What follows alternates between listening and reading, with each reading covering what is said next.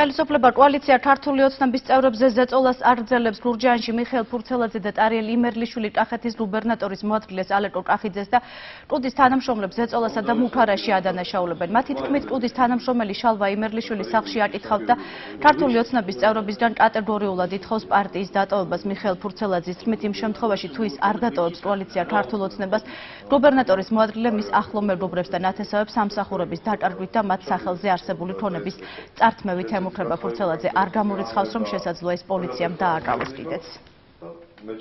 ზეწოლა ხორციელდება კერძოდ გუბერნატორის მოადგილე ალეკო კახიძის მხრიდან იბარებენ მეზობლებს მეგობრებს მიგზავნიან ადამიანებს ვისაც ავალებენ რომ მე ჩამოშვედი ხათულ ოცნებას და პირიქით მხარი დაუჭიო ნაციონალურ მოძრაობას. ემუქრებიან ქონების სართმევით ემუქრებიან ფიზიკური შეურაცხყოფით ჩემთან მოვიდა კუდის თანამშრომელი, რომელმაც მითხრა, რომ ჩემთვის ცნობილია, შენ და მიშა ფურცელი ხართ მეგობრები და აქტიურად ჩამულიხართ ქართული ოცნების საარჩევნო კამპანიაში. და განმეცხადა, რომ თუ არ ჩამოშორდებოდი ქართული ოცნების ამ საარჩევნო კამპანიაში მის ხარდაჭერას, ჩემ შვილებს შეექმნებოდათ პრობლემები სამუშაოს ამბავში.